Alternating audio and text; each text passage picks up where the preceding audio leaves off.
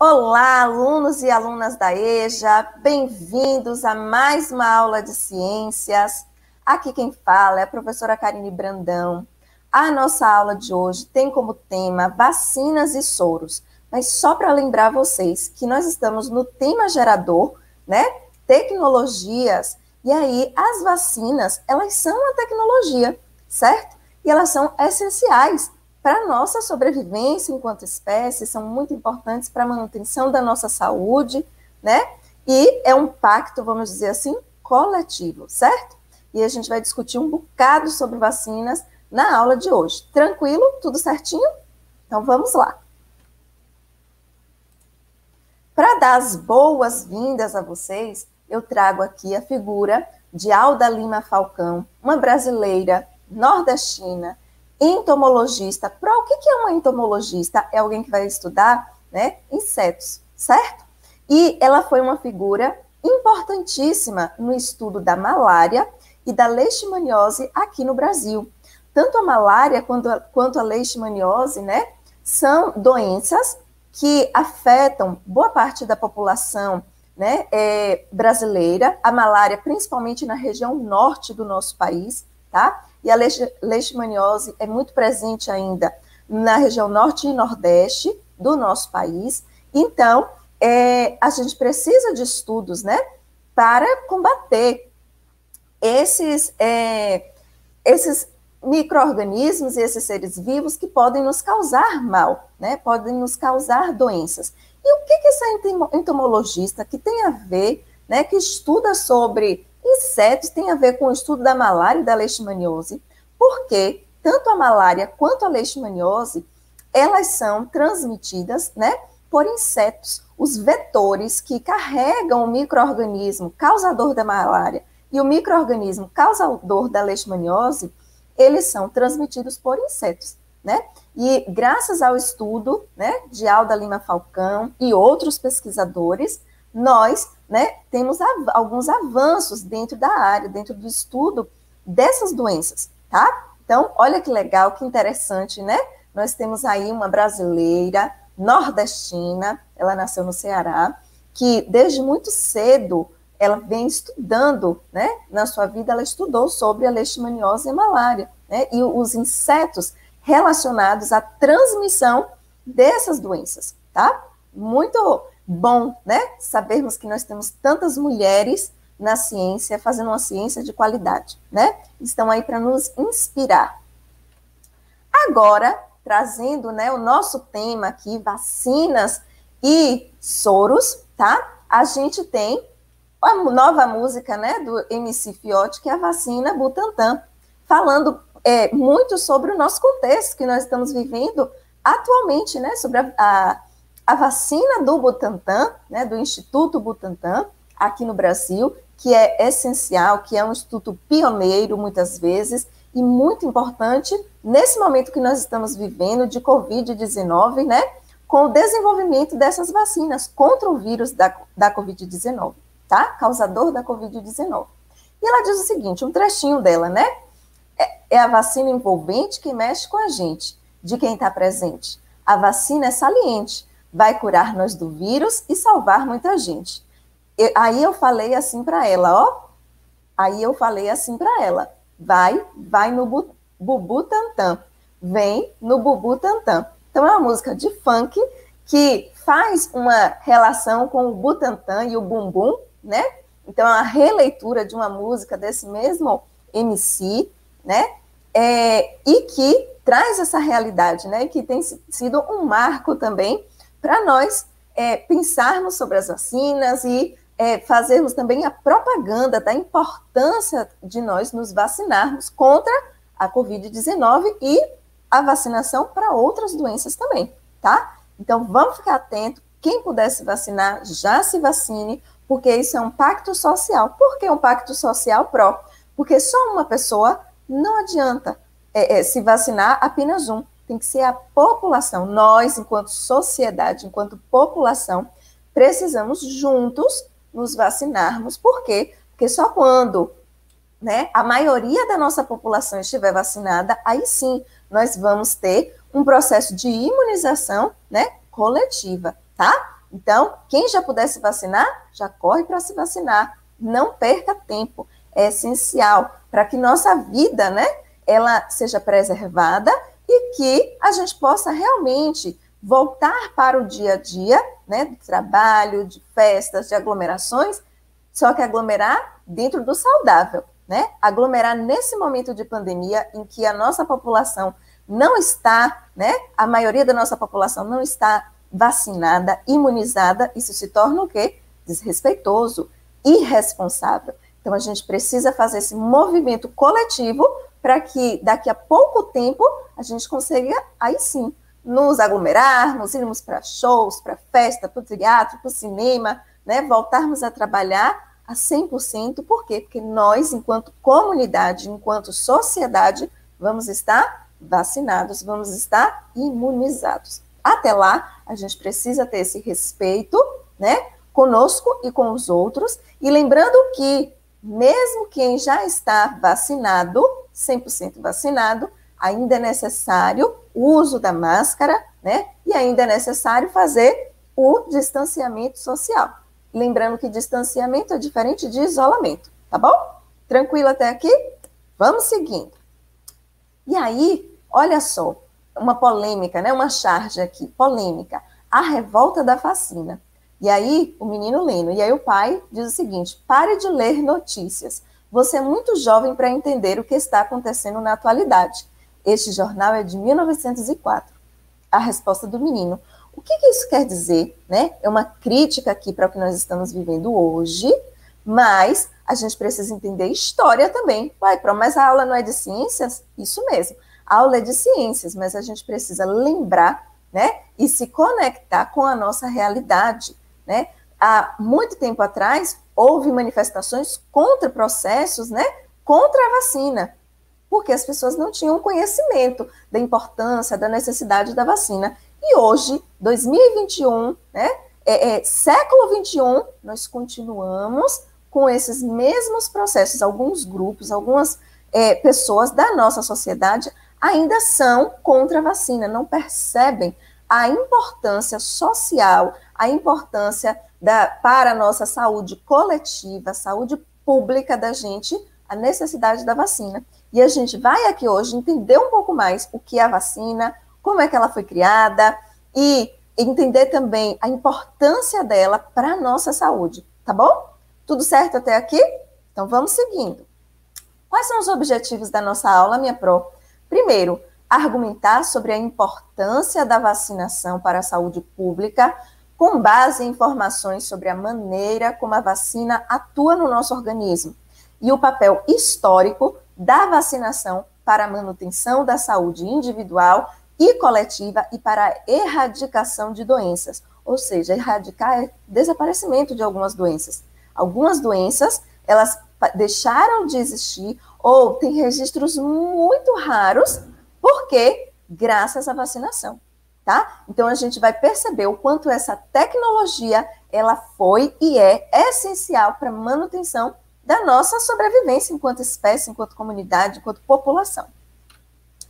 E, segundo objetivo, associar a produção de medicamentos e outros materiais sintéticos, que aqui no caso é a vacina, ao desenvolvimento científico e tecnológico, avaliando seus impactos socioambientais. Tudo certo até aqui?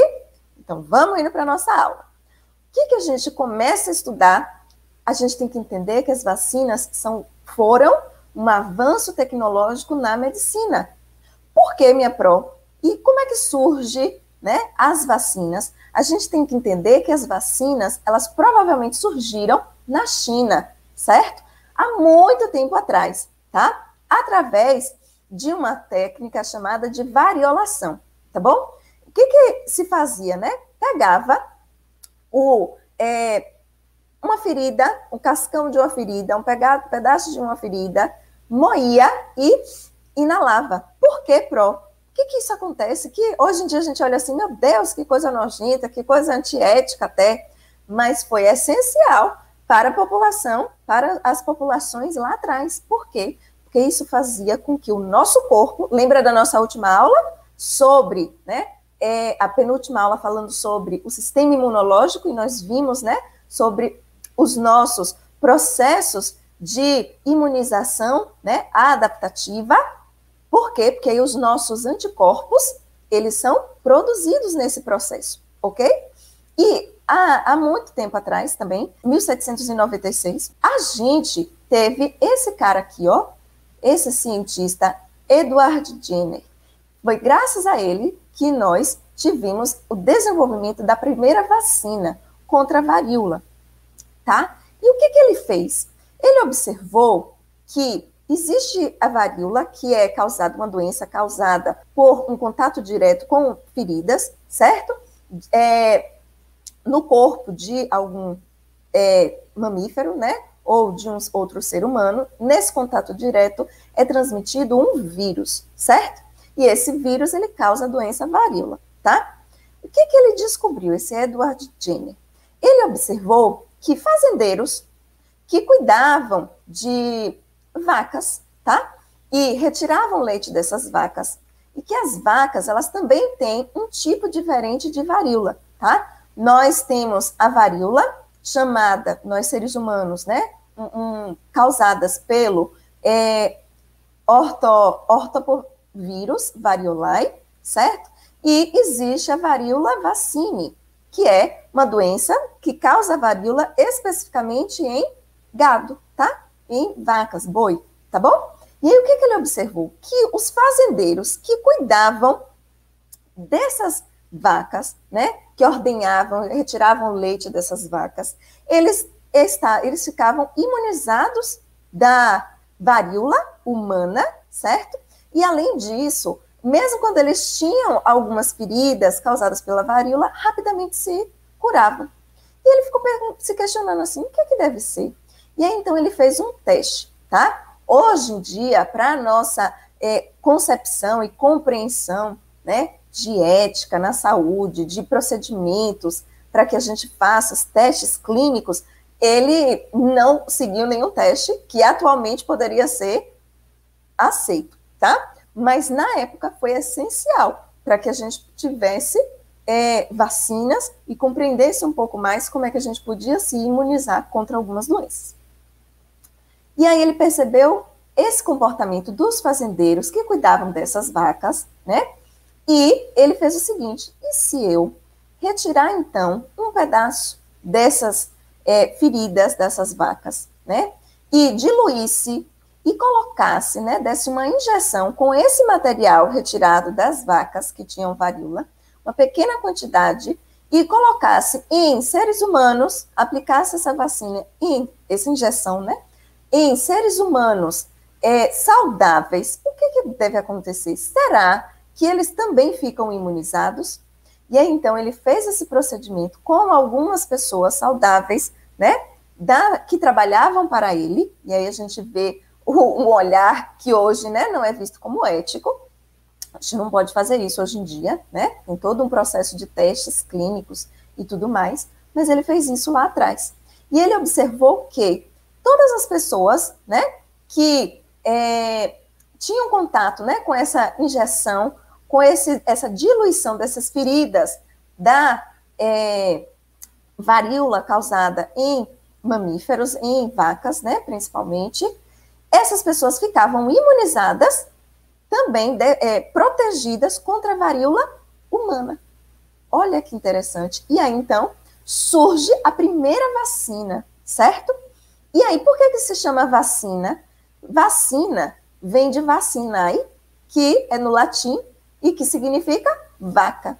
Por quê? Porque a gente já sabe agora que a nossa primeira vacina, né, como nós conhecemos hoje e entendemos hoje, a primeira vacina desenvolvida por esse pesquisador aqui, Edward Jenner, ela foi é, retirada o substrato, né, a substância para fazer essa vacina de uma vaca, tá? E aí por isso ficou vacina. E aí então nós temos hoje vários estudos, né, sobre a importância e o quanto as vacinas elas são essenciais para uma prevenção.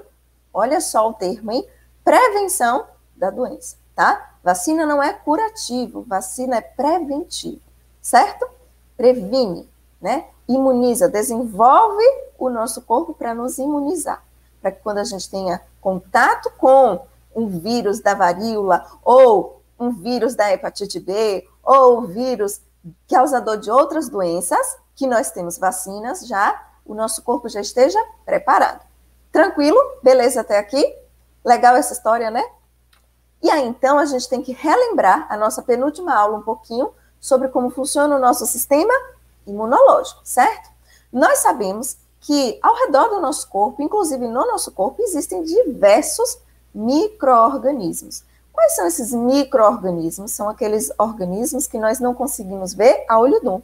Eles são tão pequenininhos que a gente precisa do quê? A gente precisa de é, uso de um aparelho que a gente já viu sobre ele, o microscópio, para conseguir identificar, observar esses micro-organismos, né? E aí nós temos, opa, micro-organismos, desde vírus, fungos, né, leveduras, é, nós temos bactérias, algumas algas, protozoários, todos eles são micro-organismos, certo? E aí a gente tem que lembrar que existem micro-organismos benéficos, ou seja, que fazem bem para nós para o nosso corpo, né? E existem micro-organismos patogênicos. Quem são os micro-organismos patogênicos? São aqueles que vão nos causar doenças, certo? E aí, todos esses micro-organismos benéficos ou não, né? Eles estão no nosso ambiente, ao nosso redor, ao redor do nosso corpo, inclusive no nosso corpo também. Só que o nosso corpo desenvolveu, né, é, células e tem células de defesa contra o quê? Microorganismos que nos causam doenças, ok? Para nos proteger, que, eu, que nós vimos na aula sobre sistema imunológico, né?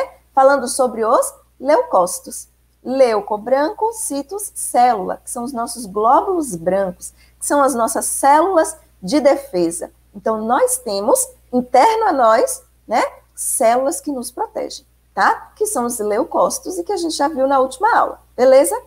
E a gente precisa lembrar também que nós temos uma resposta imune inata, ou seja, que naturalmente, desde quando nós nascemos, naturalmente nós temos, e nós temos uma resposta imune, né? O nosso corpo vai reagir contra esses micro-organismos patogênicos, esses seres que nos causam doenças, adaptativa. O que, que são esses, essa resposta imune adaptativa? É aquela resposta que o nosso corpo vai dar é, a partir de um desenvolvimento, a partir da produção, do estímulo para a produção de anticorpos, certo? Tranquilo? E aí, nós temos principalmente as células B e as células T, produzindo, né, importantes para esse processo de produção dos anticorpos, certo? Do nosso, no nosso corpo. E esses anticorpos, a gente tem que lembrar que eles são como se fossem, né? A maioria são proteínas, né? Substâncias que são produzidas no nosso corpo para neutralizar os seres que podem nos causar mal, certo? Só que a gente tem que lembrar também que todos esses seres que nos causam mal ou algumas substâncias estranhas ao nosso corpo, né, eles são chamados de antígenos. E no, as nossas células de defesa, elas vão produzir né, receptores, elas vão produzir é, substâncias que são os anticorpos, né?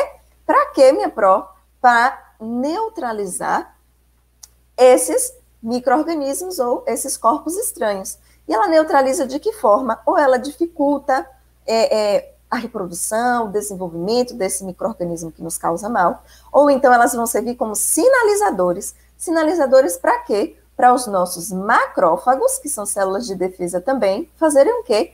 Irem lá, englobarem, então engolirem, entre aspas aqui, esse microorganismo que está nos causando mal e digerir e destruir esse microorganismo. Para quê? Para nos proteger, para servir de defesa né, do nosso corpo contra esses micro-organismos, certo? Só que existe um porém aí. A gente tem que lembrar que esses anticorpos, eles vão ser específicos. Lembra daquela história da chave e fechadura?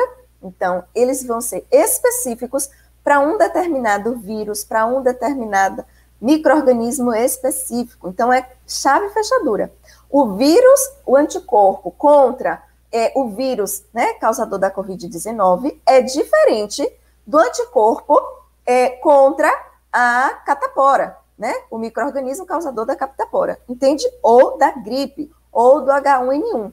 Cada um dessas doenças, cada uma dessas doenças vai ter um anticorpo específico contra elas. Tá bom? Tudo certo até aqui?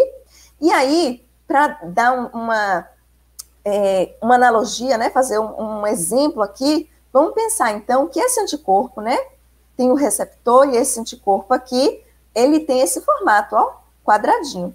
Ele vai é, se ligar, né, para neutralizar esse ser patógeno aqui, para o que tem um receptor, né, desculpa, para o que tem um antígeno que tem uma estrutura quadradinha também.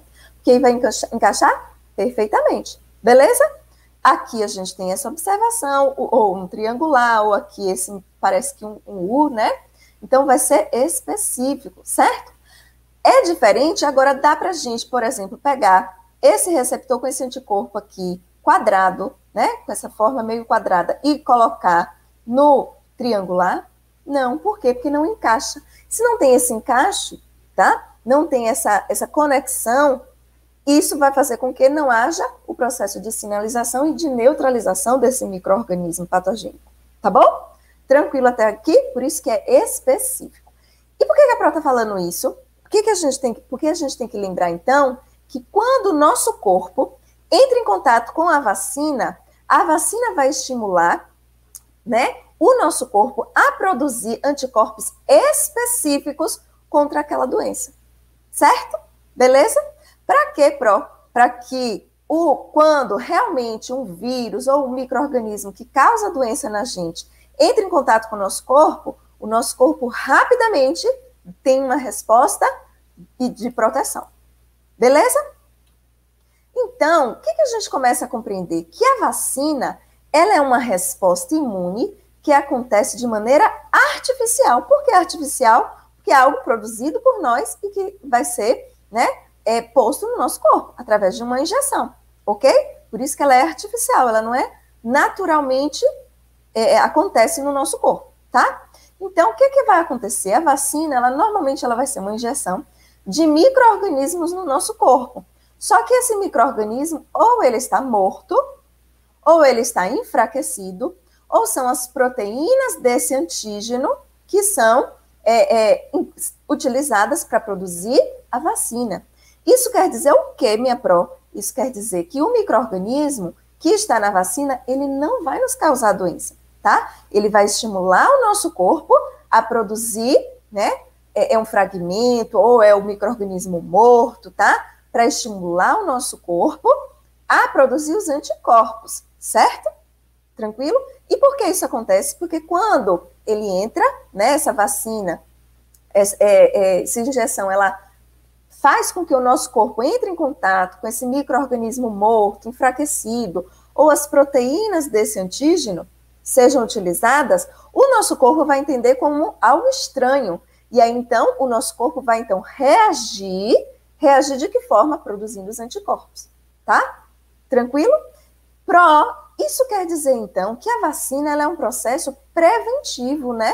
Sim. Isso, a gente usa a vacina, a gente toma as vacinas antes de ter a doença, certo? Durante o processo de ter a doença, a gente não, não pode usar vacina, a gente vai ter que fazer ou um processo paliativo, ou esperar que o nosso próprio corpo reaja, né?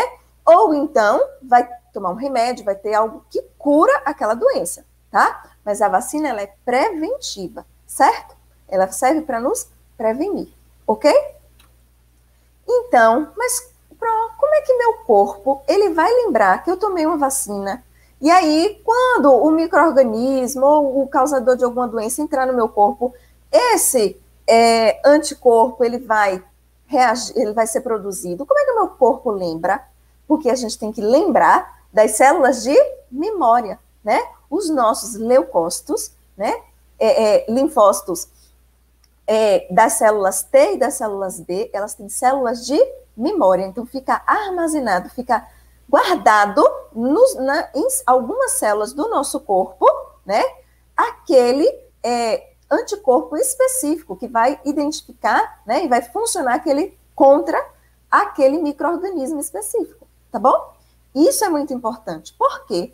Porque nós temos, né, esse gráfico aqui mostrando, ó, as curvas, né, de resposta. Nós temos uma resposta primária, que é quando pela primeira vez nosso corpo entra em contato com aquele microorganismo específico, certo? Que vai nos causar doença ou aquele é, corpo estranho específico.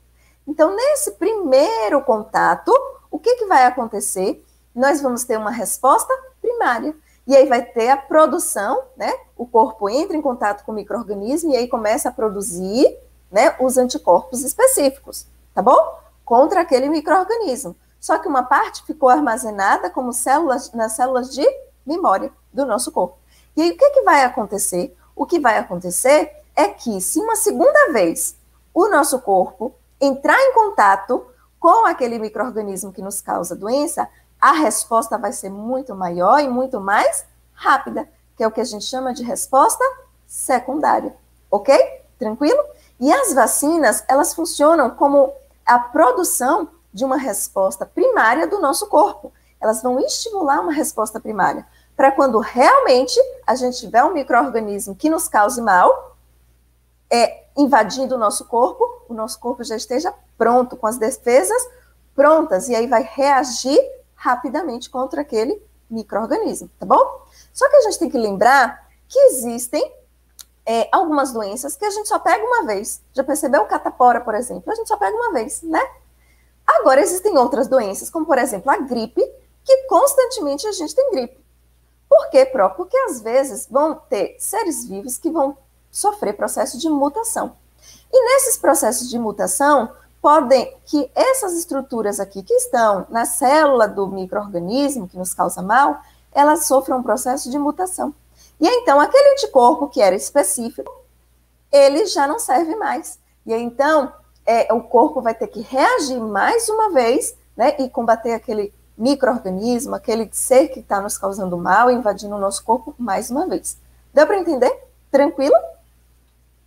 Então, quais são os tipos de vacinas que nós temos? Nós temos vacinas atenuadas, né, produzidas por micro-organismos atenuados, ou seja, que não vão nos causar doenças, ou pelo microorganismo morto. Temos vacinas que são produzidas através da proteína, né, de proteínas, de antígenos, produzidos pelo microorganismo, e não é o microorganismo ali mesmo. E nós temos vacinas que são produzidas pelo gene, pelo DNA ou RNA daquele microorganismo. Então, nós temos quatro é, formas diferentes de fazer a produção dessas vacinas, certo? E soro pro? O soro, ele é diferente da vacina. Por quê? Olha bem, ó, eu entendi que as vacinas, elas atuam como imunizantes, estimulando o corpo a produzir anticorpos. Mas e o soro? O soro é o quê? Por exemplo, o soro antiofídico contra veneno de cobra, né? O soro antirrábico contra, é, contra raiva, né? O que, que acontece? Por estimular a produção de anticorpos contra determinadas doenças, as vacinas, elas são consideradas como uma forma de imunização ativa, porque o nosso corpo vai ser ativado e ele é que vai produzir os anticorpos. O soro é diferente. O soro é usado na cura e não na prevenção, como por exemplo aqui, ó, o soro, né, contra veneno de cobra. Por quê? Porque o soro é considerado uma imunização passiva, pois são inoculados anticorpos previamente produzidos em outros organismos. Nova, normalmente se produz de é, mamíferos, né? Se retira esses anticorpos de grandes mamíferos, normalmente cavalos, tá? Inocula um pouquinho do veneno da cobra, por exemplo, no cavalo, o cavalo ele vai produzir o anticorpo, né, contra esse veneno, e aí vai ser retirada a quantidade de sangue desse cavalo, vai ser feito todo um processo de purificação até a produção desse soro. Deu para entender?